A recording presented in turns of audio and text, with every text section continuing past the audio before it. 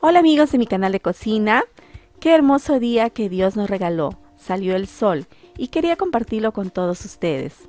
Hoy prepararemos un sudado de pescado y utilizaremos los siguientes ingredientes. Acá tengo cinco piezas de pescado bonito, los he cortado así en medallones.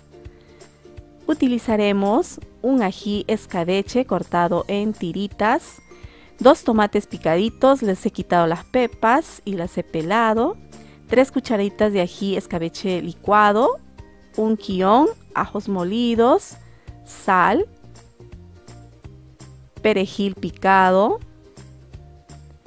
una copita de vino tinto, un limón, una cebolla grande y un tomate grande cortado en gajos, culantro picado, le acompañaremos con estas ricas yucas, aceite, pimienta comino, un sazonador de, en polvo de pescado y panquita. Lo primero que haremos es un aderezo y para ello utilizaremos una olla de fondo alto. Agregamos un poco de aceite. Agregamos los ajos molidos. Agregamos 3 cucharaditas de ají escabeche que está licuado. Agregamos un poquito de sal. Vamos a dorar un poquito. Agregamos el ají panquita. Agregamos una pizca de pimienta. Agregamos un poco de comino. Agregamos el sazonador en polvo de pescado. Vamos a agregarle eh, los dos tomates que están quitadas las pepas, las he pelado y las he picado así en cubitos pequeños. Una vez que esté bien dorado, vamos a agregar las láminas de quión o jengibre. Agregamos la copita de vino tinto. Aquí también si desean le pueden agregar una copita de chicha de jora. Esto es al gusto de ustedes. Pueden ver en esta pequeña ollita que también estoy cocinando las yucas. Le he puesto un poquito de sal al agua y lo vamos a dejar que se cocine. Mientras seguimos con nuestro aderezo, vamos a agregar las cebollas que están cortadas en gajos y también un tomate cortado en gajos que está con cáscara, no las hemos pelado.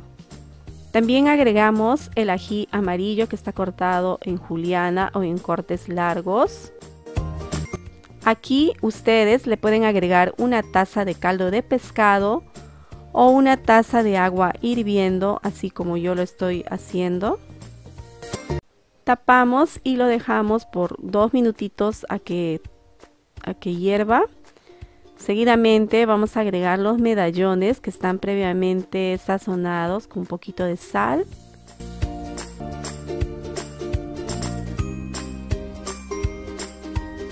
Agregamos un chorrito de agua agregamos el culantro, luego vamos a tapar la olla y vamos a dejar que se cocine de 7 a 10 minutos, porque el pescado se cocina muy rápido.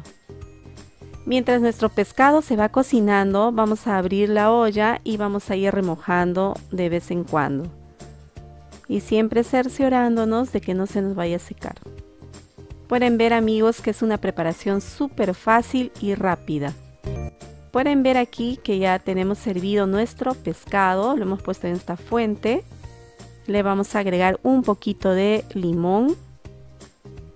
Le agregamos un poquito de perejil. Este es al gusto de cada uno. Aquí lo estoy acompañando con estas yucas que las he frito y un poquito de arroz. Ahora sí, vamos a probarlo.